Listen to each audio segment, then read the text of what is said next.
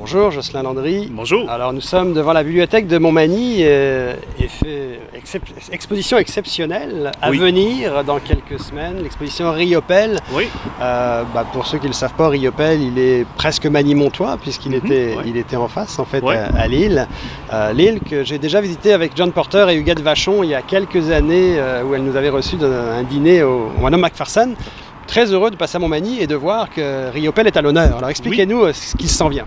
Ben, pour nous, c'est un défi. On est une bibliothèque, donc d'organiser une exposition d'envergure nationale, c'est quand même euh, quelque chose. Mais c'est quand même notre troisième fois. Donc, c'est la troisième fois depuis qu'on a mis au monde la, la bibliothèque il y a six ans, euh, huit ans, pardon. Euh, donc, de, de voir arriver ce- ce- cette exposition-là qui a comme mission de mieux faire connaître euh, Riopel, qui a aussi vécu pour un court temps à Montmagny à l'époque dans la maison Tachée.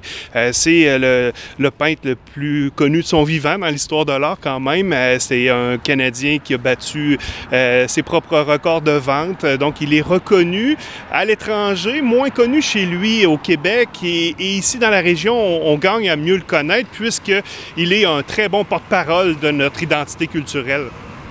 J'imagine que vous avez pour cette exposition euh, une collaboration, entre autres, du Guet Vachon. Oui, donc Madame Vachon, euh, depuis la première année, euh, comprend que le lien qu'on veut créer, c'est ce, lien d'identité.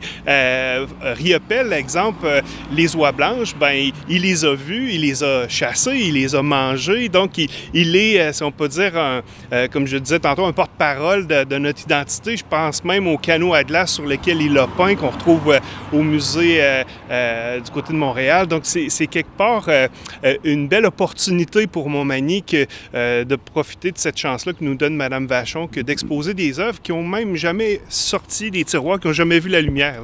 Oui, Huguette Vachon, qui est la, la conjointe de Riopel. Effectivement, c'est un, c'est un, c'est un plaisir et un honneur d'approcher Riopel. Comme je vous dis, j'ai eu la chance de l'approcher un petit peu sans jamais Oui. l'avoir connu en passant par le Mano Macpherson.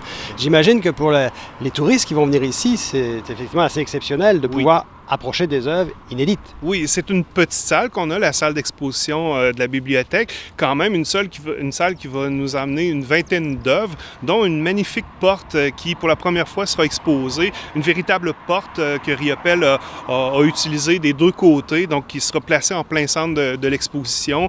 Des sculptures en bronze aussi, deux sculptures en bronze. Sinon, quelques, quelques pièces, justement, dont un autoportrait. Euh, donc, euh, euh, cette exposition-là va nous présenter des œuvres qui n'ont jamais été exposées euh, lors de nos expositions précédentes à, à Montmagny.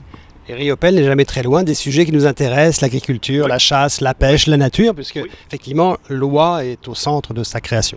Oui, euh, donc, euh, euh, comment je pourrais dire, Riopel à, à Montmagny, il a choisi de venir vivre ici ces, derniers jours. Il aurait pu s'installer partout dans le monde, mais il l'a toujours dit, la lumière qu'on a ici, lorsque, le, à titre de chasseur, il a vécu ces moments forts où, un peu avant le, coucher du soleil, là où les oiseaux passent pour, pour, pour, pour la chasse, c'est plus facile d'être là. Donc, il a vu ces moments où la lumière descend sur l'horizon, puis tous les jours ici, le phénomène des marées euh, fait que la marée est 45 minutes plus tard à tous les jours. Donc, la, la réflexion sur l'eau, sur les battures est, différente. Donc, la température couleur, lui, il savait voir ça.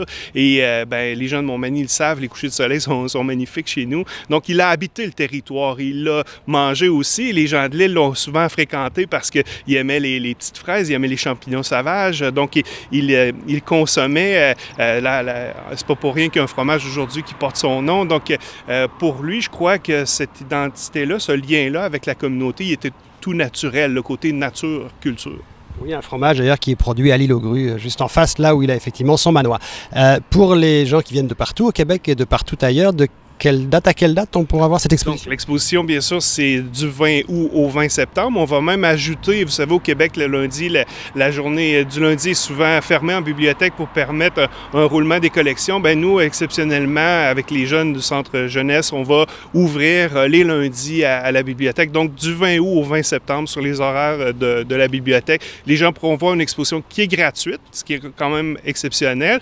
Euh, une exposition inédite, une exposition aussi qui a pour but comme on vient de, l'identifier, de, de, faire savoir que Montmagny est vivant au point de vue culturel. Au lendemain d'une situation pandémique comme on a vécu, on a toujours dans la région ces difficultés d'attractivité de nos travailleurs. Donc, euh, on croit à la culture, qu'on est là pour donner une impulsion positive, pour faire que les gens vont venir, vont, vont découvrir Montmagny touristiquement autant que culturellement.